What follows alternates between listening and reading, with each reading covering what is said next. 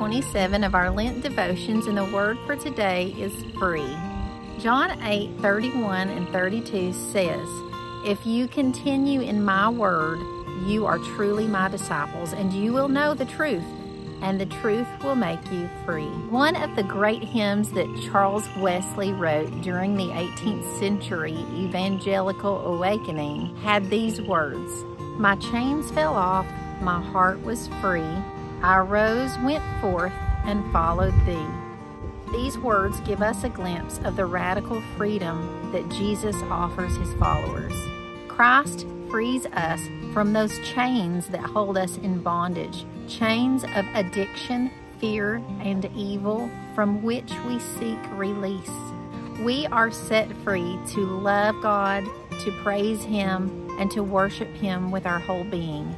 When we follow Christ, He liberates us from our shackles and allows us to be the people that He has called us to be. This is the glorious freedom offered to children of God.